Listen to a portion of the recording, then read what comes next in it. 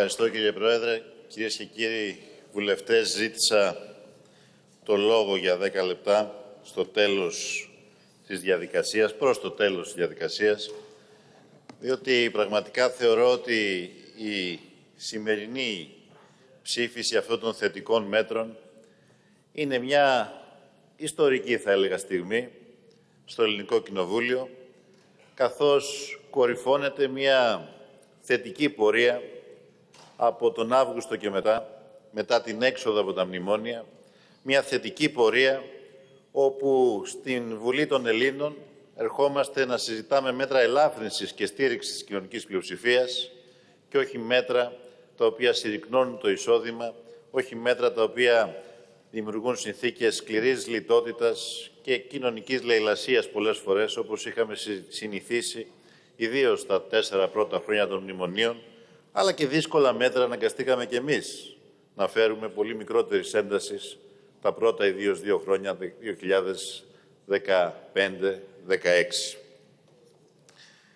Θεωρώ λοιπόν ότι είναι σημαντικό, πολύ σημαντικό αυτό το οποίο συμβαίνει, διότι μετά από 8 χρόνια θυσιών για τους Έλληνες πολίτες έχει ξημερώσει μια νέα εποχή που δίνει μια προοπτική δικαίωσης σε δύσκολες θυσίες για τον ελληνικό λαό. Η κυβέρνησή μας εργάστηκε σκληρά για να μπορέσουμε να φτάσουμε σε αυτό το σημείο. Και κυρίως εργάστηκε με σεβασμό απέναντι σε κάθε Έλληνα και σε κάθε Ελληνίδα που πέρασε δύσκολες στιγμές τα χρόνια της κρίσης. Από τον περασμένο Αύγουστο λοιπόν έχει ξεκινήσει αυτή η σειρά των νομοθετικών πρωτοβουλειών που σταδιακά αποκαθιστά τις αδικίες που γέννησαν τα μνημόνια και αυτός ήταν άλλωστε ο βασικός μας στόχος, να φτάσουμε στο τέλος των μνημονίων αλλά με την κοινωνία όρθια, με ασφάλεια και έχοντας διασφαλίσει ένα δημοσιονομικό χώρο και τις αντίστοιχες δυνατότητες ώστε να προχωρήσουμε και να προχωρούμε από τούδε και στο εξής σταδιακά στην ελάφρυνση των βαρών για τους πολλούς. Μέσα σε αυτούς τους εννιά μήνες επαναφέραμε την ισχύ των βασικών αρχών των συλλογικών διαπραγματεύσεων, αυξήσαμε τον κατώτατο μισθό κατά 11%, καταργήσαμε τον υποκατώτατο μισθό για τους νέους, μια ρατσιστική, επιτρέψτε μου να πω, διάκριση ενάντια στους νέους ανθρώπους, αποδώσαμε ξανά την τρίτη, για τρίτη συνεχόμενη χρονιά ποσό, το ποσό της υπεραπόδοσης στους πολλούς, δεσμευτήκαμε και υλοποιήσαμε τα μέτρα στήριξης της κοινωνικής πλειοψηφίας που εξαγγείλαμε πέρυσι το Σεπτέμβρη στη Διεθνή Έκθεση Θεσσαλονίκης. Ένα προς ένα τα ψηφίσαμε εδώ και με την συμμετοχή παρά την κρίνια και την δυσαρέσκεια και βουλευτών της αντιπολίτευσης που αναγκάστηκαν να τα ψηφίσουν, παρότι όταν τα εξαγγείλαμε, σας θυμίζω, είχαν προεξοφλήσει ότι δεν θα ψηφιστούν και δεν θα εφαρμοστούν. Επίσης δεσμευτήκαμε και υλοποιήσαμε τη μείωση του έμφυα. Θα εφαρμοστεί, εφαρμόζεται ήδη από το 19, θα το δούνε οι πολίτες τους επόμενους μήνες, κυρίως αφορά τη λαϊκή κατοικία.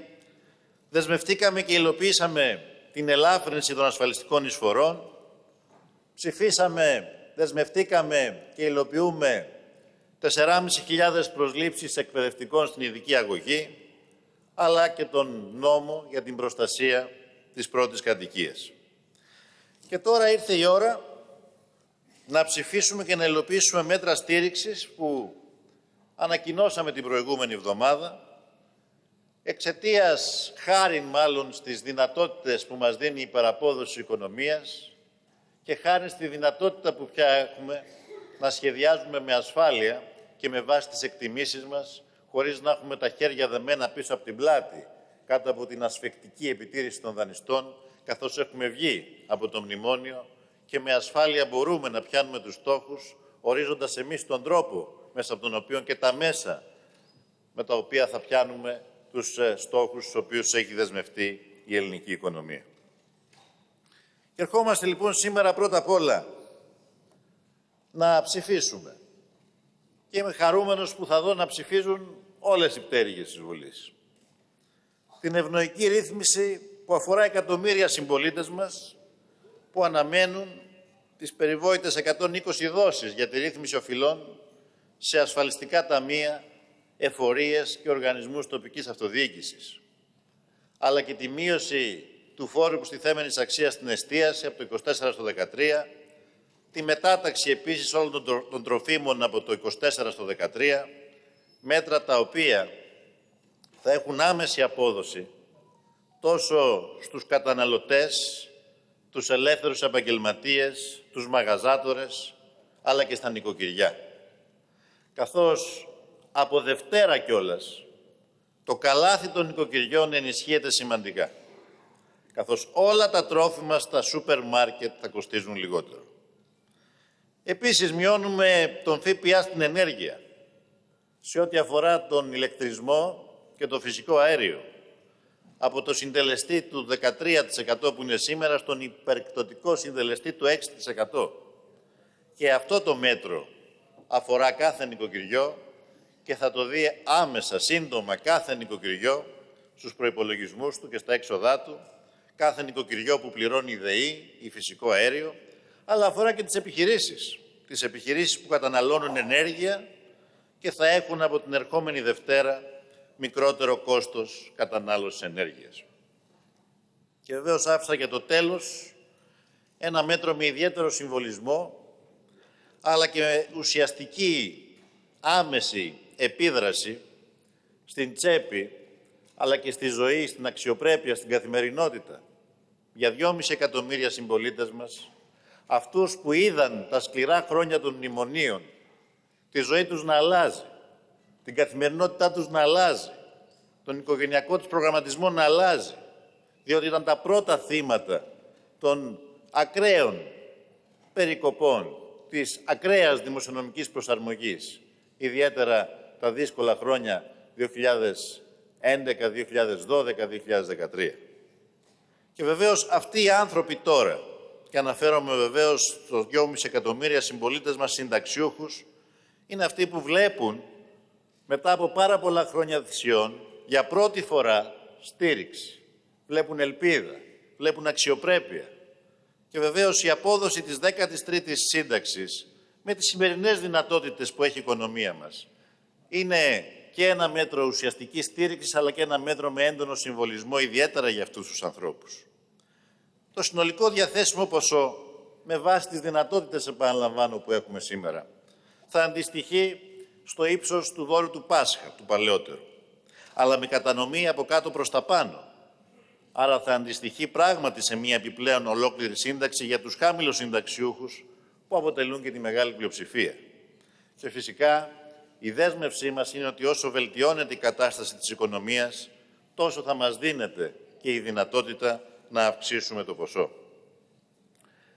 Όλα τα παραπάνω μέτρα, κυρίες και κύριοι βουλευτές, Θέλω να το επαναλάβω.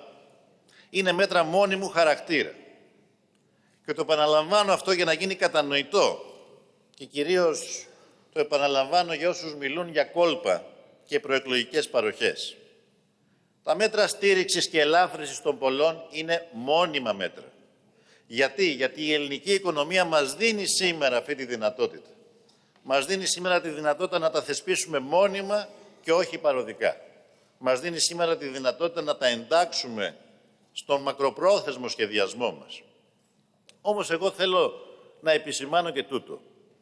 Πέραν από πρωτοβουλίες στήριξης των αδυνάμων, πέρα από πρωτοβουλίες ελάφρυνσης της μεσαίας τάξης και των πολλών, τα μέτρα που ψηφίζουμε σήμερα είναι και παρεμβάσεις με φύλλο αναπτυξιακό χαρακτήρα, που βοηθούν την άψη της κατανάλωσης, που ενισχύουν την οικονομική δραστηριότητα και θα έχουν πολύ σημαντική και θετική επίπτωση στην πραγματική οικονομία. Και εγώ είμαι βέβαιος, το καταγράφω ως μια πρόβλεψη και εδώ θα είμαστε όλοι, τέλος του χρόνου, να το διαπιστώσουμε. Το καταγράφω ως μια πρόβλεψη. Τα μέτρα αυτά, μετά την εξάμηνη εφαρμογή τους, στο τέλος του 2019 θα αποφέρουν ακόμα θετικότερες ειδήσεις για την υπεραπόδοση της οικονομίας, ακόμα θετικότερες ειδήσεις για το δημοσιονομικό χώρο, το περιθώριο δηλαδή το οποίο θα διαφανεί στο τέλος του 19, ακόμα θετικότερες ειδήσεις και προοπτικές για ακόμα περισσότερα μέτρα ελάφρυνσης στο τέλος του χρόνου. Διότι η οικονομία μας μπαίνει σε έναν ενάρετο κύκλο και θέλουμε αυτός ο ενάρετος κύκλος να είναι διαρκής.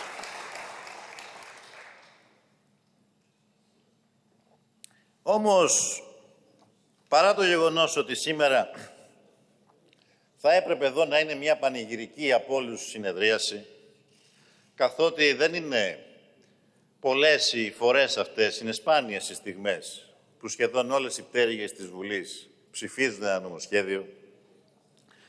Βλέπω ότι υπάρχει μια, ας το πούμε έτσι, παγωμάρα, μια μηχανία, μια ισχνή συμμετοχή εδώ στη διαδικασία από την πλευρά της αξιωματικής αντιπολίτευσης και βεβαίως ε, εν διάφ περιπτώσει θα έλεγα και μία επιχειρηματολογία και μία στάση η οποία πέρα από αμήχανη είναι πολλές φορές και αντιφατική σε ό,τι αφορά τα επιχειρήματα τα οποία ακούγονται.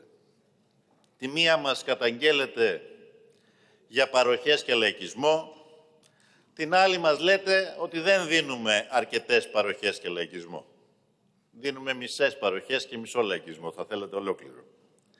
Τη μία μας λέτε, έτσι άκουσα τουλάχιστον δια του Αντιπροέδρου σας προχθές να δηλώνει ότι σε καμία περίπτωση δεν εγγυάστε για τη μονιμότητα της μόνιμης αυτής 13ης σύνταξης που εμείς ψηφίζουμε αν εσείς τυχόν εκλεγείτε. Την άλλη έρχεστε εδώ και την ψηφίζετε στη Βουλή διαμαρτυρώμενοι κιόλας ότι θα έπρεπε να είναι παραπάνω. Εντάξει, εγώ την κατανοώ αυτή την αμηχανία. Και θα έλεγα πάλι καλά. Πάλι καλά που δεν είναι ίδια η αντίδραση της αξιωματικής αντιπολίτευσης με αυτήν που είχε το 2016, όταν δεν είχαμε τη δυνατότητα για μια μόνιμη παροχή, αλλά εφάπαξ ήρθαμε και ψηφίσαμε από την υπεραπόδοση για να δώσουμε την ε, 13η, μια 13η σύνταξη, μια βοήθεια σημαντική στους συνταξιούχους, όχι όλους τότε, μέχρι ενός ορίου συντάξεων. Τότε είχατε σπεύσει να πείτε ότι βάζουμε σε κίνδυνο τα δημόσια οικονομικά της χώρας. Ότι βάζουμε σε κίνδυνο την πορεία της χώρας, ότι δεν θα κλείσουν αξιολογήσεις, ότι θα ξαναμπούμε στον κίνδυνο της ε, συζήτησης για το αν χωράμε στην Ευρωζώνη ή όχι. Και βεβαίως τότε ο κ. Σόιμπλε ανέλαβε να κάνει το έργο αφού στρώσατε το χαλί με την κινδυνολογία. Σήμερα έσπευσε ο κ. Βέμπερ να κάνει το ίδιο. Ευτυχώς, λέω, δεν ακολουθήσατε. Ευτυχώς. Αλλά, εν πάση περιπτώσει, έρχεστε να ψηφίσετε αυτά τα μέτρα στήριξης, έστω και με διφορούμενα επιχειρήματα και αντιφατικά. Αυτό όμως είναι το λιγότερο. Εμένα μου αρκεί που έρχεστε και τα ψηφίζετε, παρότι δεν τα πιστεύετε, μου αρκεί που έρχεστε και τα ψηφίζετε ένα προς ένα, όπως κάνατε και με τα μέτρα της ΔΕΘ που εξαγγείλαμε και τα ψηφίσατε ένα προς ένα, παρότι λέγατε ότι έχουμε τέταρτο μνημόνιο, ψηφίζατε θετικά μέτρα, εμένα μου αρκεί αυτό. Και μου αρκεί διότι με τα όσα έχει αρχίσει να λέει ο αρχηγός στις τελευταίες μέρες στις συνεντεύξεις του, διατυπώνοντας προγραμματικές σας θέσεις και το πρόγραμμά του, για την 7ήμερη εργασία, για την ιδιωτικοποίηση της υγείας, για την κατάργηση των επιδομάτων. Έχει αρχίσει να σας φοβάται το μάτι, όχι το δικό μας, αλλά των πολλών, διότι το δικό μας είναι το λιγότερο. Ξέρω ότι διαφωνείτε.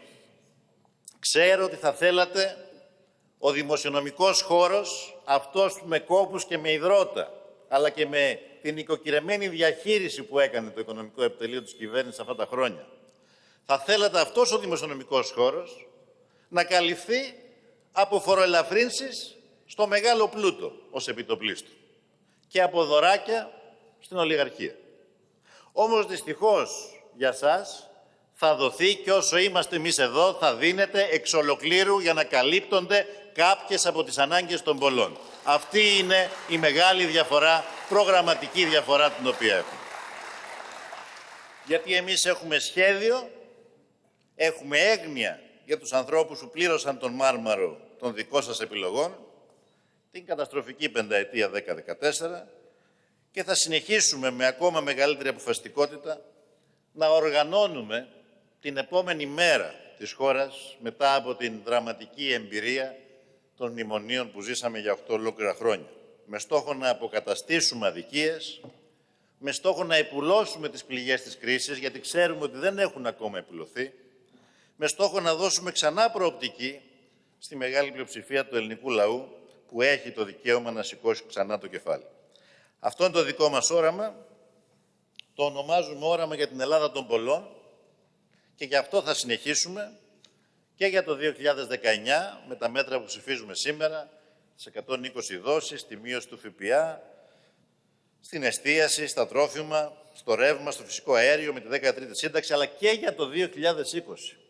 Γιατί θέλω να θυμίσω ότι έχουμε τη δυνατότητα πια με βάση όχι μια μελλοντική διαπραγμάτευση που θα κάνουμε, όχι μια ανταλλαγή φρικιαστικών μέτρων κοινωνικής λαϊλασίας, ώστε κάποιοι να μας δώσουν μικρότερα πλεονάσματα, αλλά με βάση τους κόπους και τις θυσίες, άρα τη ρευστότητα που διαθέτουμε στα δημόσια ταμεία, να εφαρμόσουμε μια πολιτική ελάφρυνσης των βαρών και στήριξης της κοινωνικής πλειοψηφίας, που θα μας δώσει τη δυνατότητα για περισσότερο δημοσιονομικό χώρο, πλέον αυτού του 1,2 δισεκατομμυρίων που σήμερα νομοθετούμε για το 19 και μεταφέρονται στο 2020, ενός επιπλέον 1,3 δισεκατομμυρίων που εξαγγείλαμε για το 2020 και αφορά στην ελάφρυνση της φορολογίας, στην κατάργηση της φοράς αλληλεγγύης για εισοδήματα 20.000 ευρώ και δραστική μείωση για το σύνολο των εισοδημάτων, την επιπρόσθετη υπερέκτωση στις επενδύσεις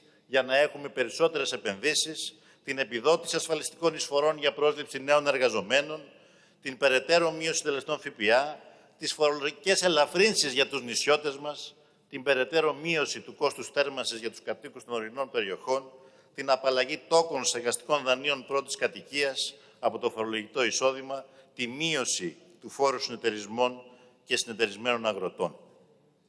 Όλα αυτά τα μέτρα, κυρίες και κύριοι βουλευτές, είναι μέτρα δίκαια, είναι μέτρα αναγκαία και είναι μέτρα που γίνονται πράξη. Και επαναλαμβάνω, είναι μέτρα στήριξης μόνιμου χαρακτήρα. Είναι μέτρα στήριξης μόνιμου χαρακτήρα για τους πολλούς και για μια Ελλάδα που μετά από τόσα πολλά χρόνια αλλάζει εποχή και αφήνει, πιστεύουμε, οριστικά πίσω της τις μαύρες μέρες της κρίσης και της λιτότητας. Θέλω λοιπόν να πω, κυρίες και κύριοι βουλευτές, ότι χαίρομαι ιδιαίτερα που παρά τις αντιφάσεις και η αντιπολίτευση τα ψηφίζει ένα προς ένα αυτά τα μέτρα, πίνοντας πικρό ποτήρι. Σας εύχομαι, κυρίες και κύριοι συνάδελφοι, και την επόμενη τετραετία να είστε σε αυτά τα έδρανα, ώστε παρά τις διαφωνίες σας να ψηφίζετε μέτρα ελάφρυνσης των πολλών που θα φέρνει η κυβέρνηση του ΣΥΡΙΖΑ.